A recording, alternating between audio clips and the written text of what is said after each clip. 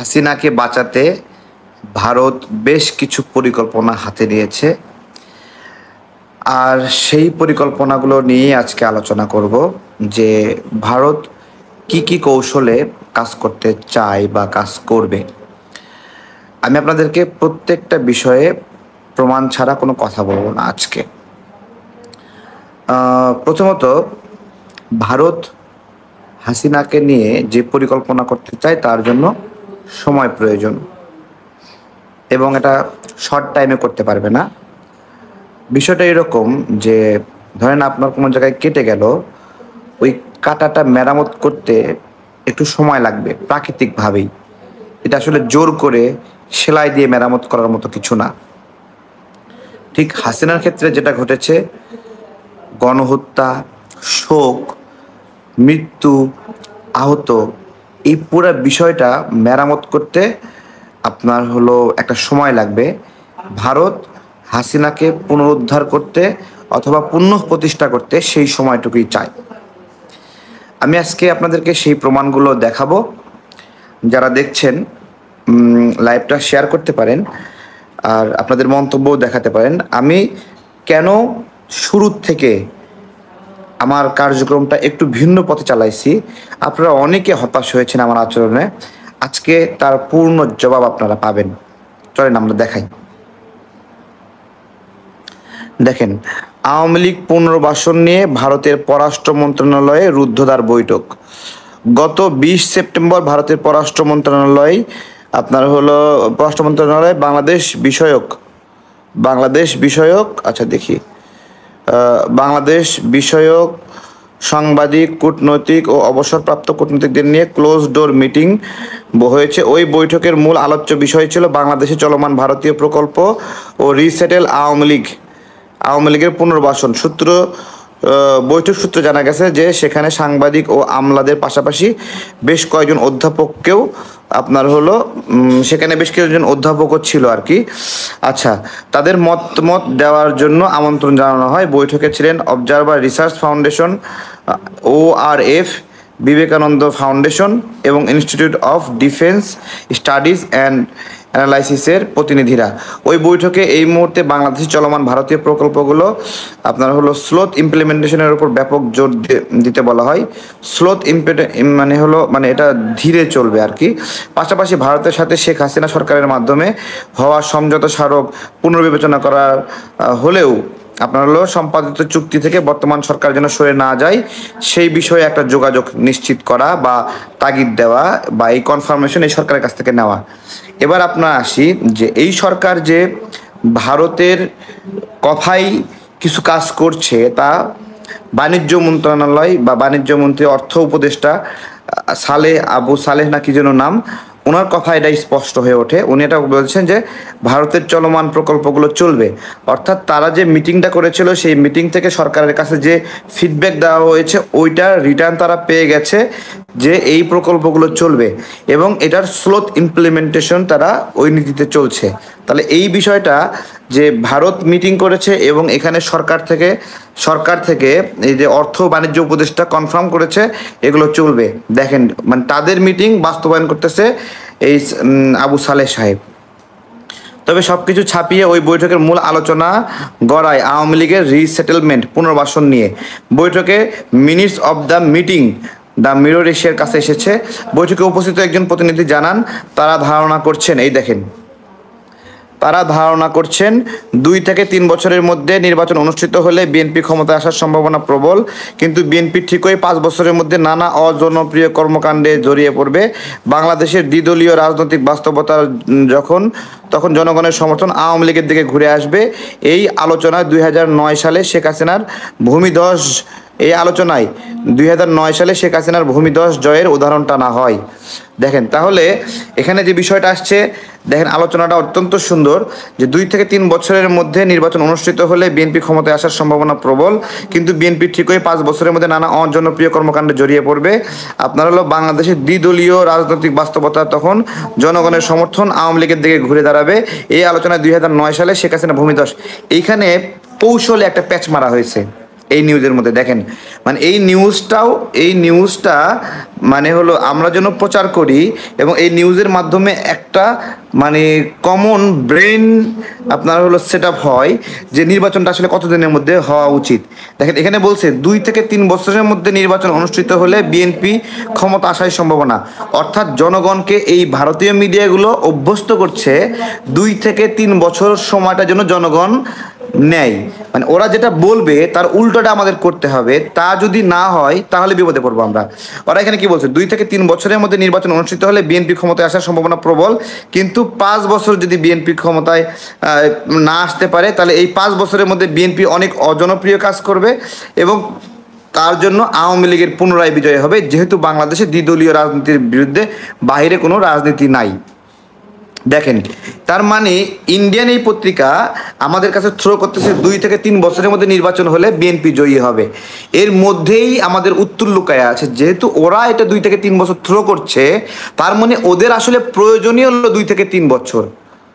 ভালো করে শোনেন, ওরা যে পাঁচ বছর লিখছে না, যে পাঁচ বছর থাকলে অজনপ্রিয় কাজে জোড়ায় পড়বে, ওদের ওদের কিন্তু আমাদেরকে পাঁচ বছর দেখাইছে কিন্তু ওদের প্রয়োজন হলো দুই থেকে তিন বছর, দুই বছর প্রয়োজন, দুই বছরও প্রয়োজন না।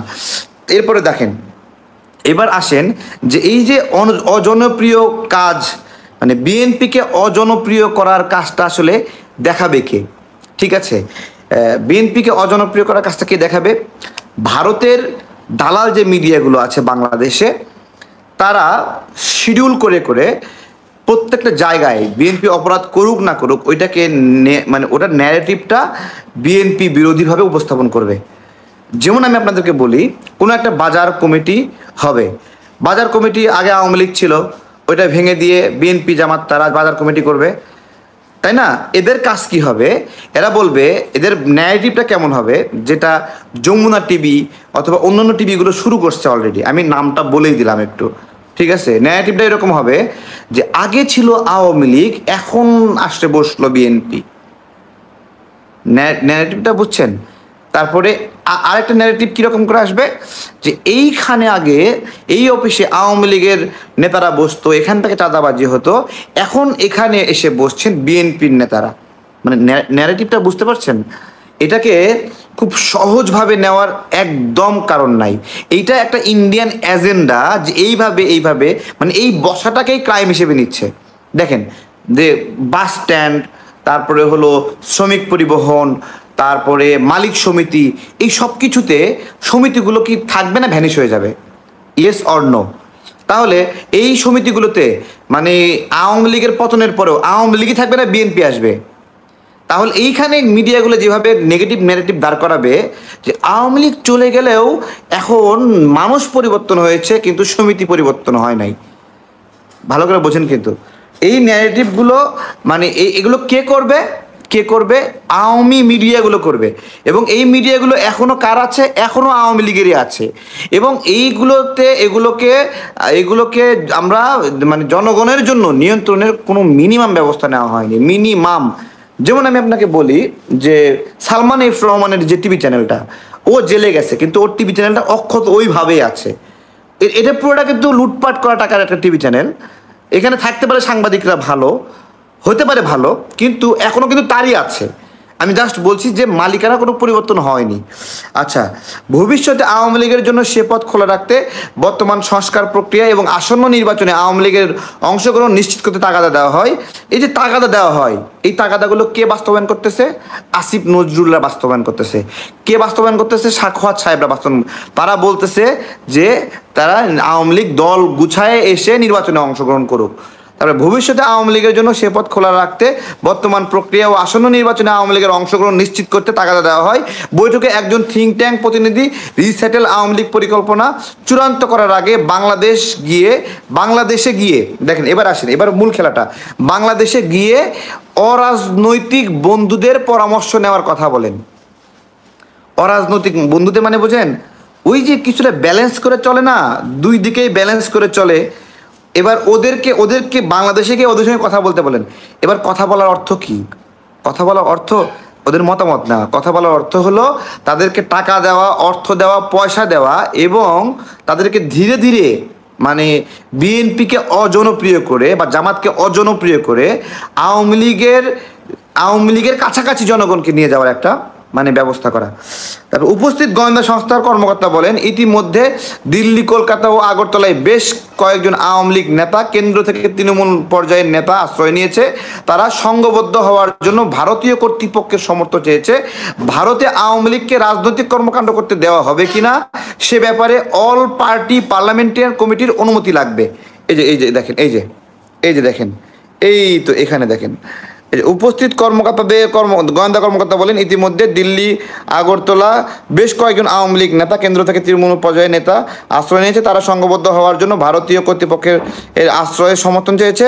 ভারতে আওয়ামী লীগকে রাজনৈতিক কর্মকাণ্ড আপনার হলো করতে দেওয়া হবে কি না, এই বিষয়ে তার উত্তরে একজন বিশেষজ্ঞ বলেন, উনিশশো একাত্তর সালে আওয়ামী লীগ ভারতে এসে দল চালিয়েছে। কলকাতা, আগরতলায় তারা দলীয় মিটিং করেছে। নেপালের কমিউনিস্ট পার্টি প্রতিষ্ঠিত হয়েছে কলকাতায়। তিনি দাবি করে বলেন, প্রতিবেশী দেশের রাজনৈতিক দলগুলোর সংকটকালে ভারত দলীয় কর্মকাণ্ড করতে দেওয়ার ইতিহাস নতুন না। তিনি ভারতে আওয়ামী লীগ সংগঠিত হওয়ার অনুমতি দেওয়ার মানে সংগঠিত হওয়ার অনুমতি দেওয়ার পক্ষে মতামত দেন। তার বক্তব্য, বক্তব্যের জবাবে অবসরপ্রাপ্ত একজন কূটনৈতিক বলেন, ভারতে আওয়ামী লীগের দলীয় কর্ম- কর্মকাণ্ড যেন গোপনে হয় এবং তা গণমাধ্যম জানতে না পারে, অন্যথায় বর্তমান সরকারের সম্পর্কে সাথে সম্পর্ক ক্ষতিগ্রস্ত হতে পারে। এইবার আসেন, তার মানে বিষয়টা কোন দিকে গড়াচ্ছে? তাহলে মানে আমি একটা কথা বলি আজকে মাইন্ড করবেন না আপনারা। তাহলে এরা অল ইন্ডিয়া পার্লামেন্টারিয়ান তারা মিলে, তাদের কূটনৈতিকরা মিলে, তাদের তাদের হলো ডিফেন্স মানে সিস্টেম নিয়ে, তাদের সাংবাদিক বুদ্ধিজীবীরা মিলে তারা ডিসিশন নিয়ে ফেলতেছে। তাদের দল, আওয়ামী লীগ, তাদের তাদের মনোনীত দল, আপনার হলো আওয়ামী লীগকে তারা ভারতে রেখে রাজনীতি করার সুযোগ দেবে এবং এই বিষয়ে তারা মতামত দিচ্ছে। তাহলে এক নম্বর কী দিচ্ছে? যে বাংলাদেশে গণহত্যায় অভিযুক্ত একটা দল এবং আপনার হলো নেত্রীকে ওরা জায়গা দিচ্ছে ওখানে, দুঃখজনক, আমি আপনাকে বলছি, আমাদের একটি বিরোধ, বিরোধী দলীয় এতদিন ছিল তাদের একজন বড় নেতা, তিনি কি বলছেন? তিনি বলছেন যে আপনি যে ভারত, ভারতের কোনো স্বাধীনতাকামীকে অথবা ওইখানে বিচ্ছিন্নতাবাদীকে বাংলাদেশে আশ্রয় দেবেন না বা বাংলাদেশ থেকে মানে কর্মকাণ্ড অপারেট করতে দেবেন না। হো মানে আপনার সমালোচনা করতে চাই না, শুধু আল্লাহর কাছে দোয়া করি যে আপনার হলো সুন্দর বুদ্ধির উদয় হোক। ঠিক আছে? সুন্দর বুদ্ধির উদয় হোক। যখন যেই মুহূর্তে ভারত আপনাকে এই বিষয়ে আশ্বস্ত করল, করতে চাইলো, আপনার কাছে গ্যারান্টি চাইলো, সেই সময়টাতে আপনি বলতে পারলেন না যে আপনার দেশে, আমাদের গণ, দেশে গণহত্যায় অভিযুক্ত হাসিনা যদি থাকে, তাহলে এই বিষয়ে আমাদের একই নীতি হবে? বলেন। মন খারাপ করবেন, কিন্তু মন খারাপ করলে বলা যাবে মানে আমরা আমরা থামবো না। ঠিক আছে? কারণ আপনাদেরকে নিয়েই আমরা স্বপ্ন দেখি। আপনাদেরকে নিয়েই এই জাতির মেঘ কাটবে। সুতরাং মেঘ কাটতে গিয়ে আপনারা যদি ভারতের লেজ ধরে বসে থাকেন, তাহলে আল্লাহ আমাদের কপালে কি আছে এটা আপনার আমরা আর বলতে পারব না। অবসরপ্রাপ্ত ওই বাঙালি কূটনৈতিক বলেন, হাসিনাকে দুই হাজার চোদ্দ সাল থেকে আমরা টিকিয়ে রেখেছি। এই অভিযোগ অস্বীকার করলেও আওয়ামী লীগ নেতাকর্মীরা তা বীর দর্পে বলিয়ে বেড়েছে। আওয়ামী লীগ নেতাদেরও সে ব্যাপারে ওরিয়েন্টেশন দেওয়া দরকার বলে তিনি যোগ করেন। আমরা, আমি জাস্ট বলতেছি, আমি দেখেন, আপনারা যখন আমাকে গালি দিচ্ছিলেন, সবাই মিলে গালি দিচ্ছিলেন। সেই সময়টা এই যে মানে বিপ্লবের প্রায় পাঁচ ছ দিন পরে ফেস দ্য পিপলের টকশোতে গেলাম। টকশোতে গিয়ে কিন্তু আমি ওই সময় এই কথাগুলোই কিন্তু বলছি। এই কথাগুলোই বলছি যে, কেন মানে কেউ যদি ক্ষমতায় থাকতে চায় বেশি দিন, তাহলে সেজন্য নির্বাচনের জন্য দল গঠন করে এ মানে ক্ষমতায়, ক্ষমতার স্বপ্ন দেখে। হ্যাঁ? আম সারা বাংলাদেশের মানুষ একটা ভোটাধিকারের জন্য দীর্ঘদিন লড়াই করছে, গণতন্ত্রের জন্য লড়াই করছে। দশ লক্ষ, পনেরো লক্ষ, বিশ লক্ষ মানুষ এক জায়গায় হয়ে ঢাকাতে প্রোগ্রাম করছে। হ্যাঁ জয়ী হয় নাই, কিন্তু চেষ্টা তো কম করে নাই।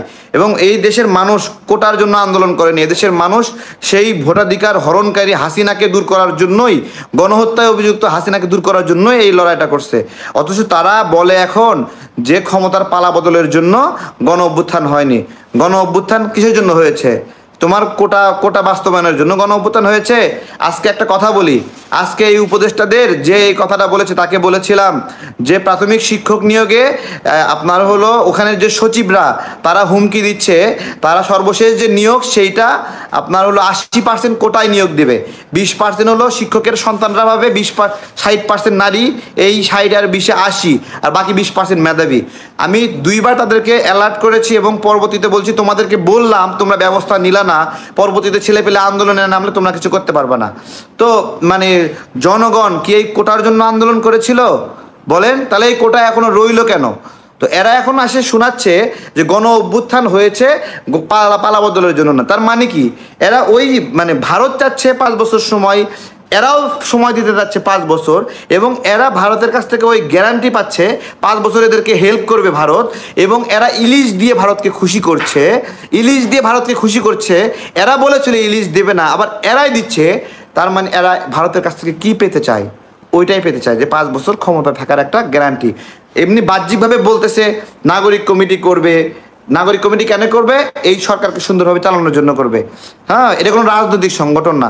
আপনারা বলেন আজকে, এটা কোনো রাজনৈতিক সংগঠন না। এটার কোনো রাজনৈতিক ইচ্ছা নাই। এখনও যদি স্ক্রিনশটটা বাইর করে দিয়ে দেয়, উপদেষ্টারা আমাদেরকে বলছে, তোমরা এই নাগরিক কমিটিতে যুক্ত করো, আমরা রাজনৈতিক দল গঠন করব। তাহলে কেমন লাগবে? বলেন। বলেন।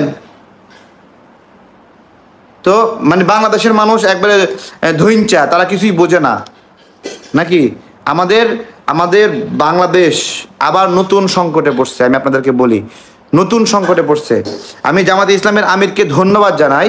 উনি, আমি ওনাকে যখন ওনার সাথে মিটিং হলো আমার, তখন আমি বলেছিলাম, উনি বলছিল যে এত অস্থির হওয়ার কিছু নাই, ধীরে সুস্থ সব হবে, এরকম বলেছিল।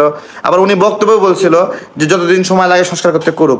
জামাত ইসলাম ভেবেছিল তাদের দল সংস্কার করতে একটু সময় লাগবে, তারাও যদি সময় নেয়, এই সময় দল সংস্কার করবে, সুতরাং ভালোই হবে, ওই জায়গা থেকে বলেছিল। কিন্তু একটা জিনিস, একজন রাজনৈতিক কর্মী মানে কীভাবে অ্যানালাইসিস করে, একটা পার্টি দল কীভাবে অ্যানালাইসিস করে, এগুলো জানতে হবে। আমাদের বয়স কম হতে পারে, কিন্তু আমরা কিছু জিনিস অনুধাবন করি।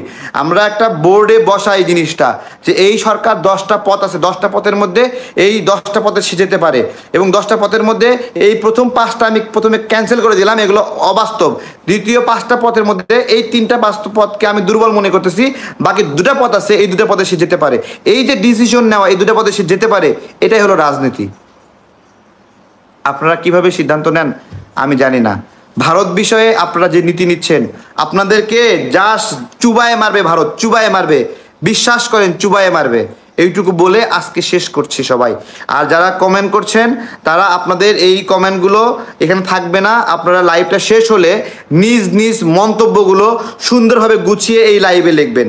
আবারও বলছি, আপনাদের মন্তব্যগুলো, যে যে বয়ানগুলো বললাম, কতটুকু বিশ্বাস করেন?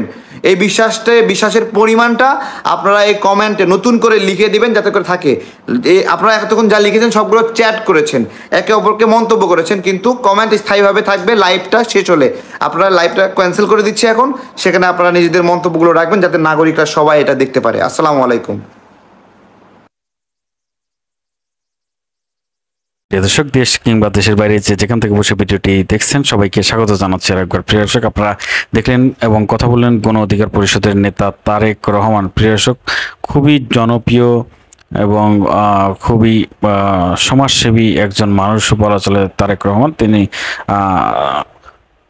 খুবই ভালো মনের একজন মানুষ তিনি কথা বলেন এবং স্বৈরাচার শেখ হাসিনার নির্যাতনের শিকার হয়েছে বারবার। আমরা তাকে দেখেছি যে তিনি বারবার হাসিনার নির্যাতনের শিকার হয়েছে। এমনকি শেখ হাসিনা যখন পালিয়ে যায়, পালিয়ে যাওয়ার আগেও তাকে রিমান্ডে নেওয়া হয়েছিল এবং বিভিন্নভাবে অত্যাচার করা হয়েছিল যে বর্ণনা আমরা তার মুখে থেকে শুনেছি। শেখ হাসিনা পালিয়ে যাওয়ার পর তাকে মুক্ত করা হয়। এবং এরপর থেকে তিনি মুক্ত এবং আবারও তার যে সমাজসেবী কাজ, সেই কাজে ব্যস্ত রয়েছেন। তারেক রহমান বক্তৃতা দিলেন, আপনারা দেখলেন তার বক্তৃতা এবং তার যে তিনি যে বিশ্লেষণ করলেন যে ভারত আসলে শেখ হাসিনাকে জেনে যে পরিকল্পনা, সেই পরিকল্পনাটা কি, সেই বিষয়ে তিনি কথা বললেন।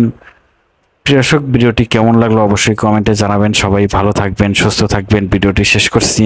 আসসালামু আলাইকুম।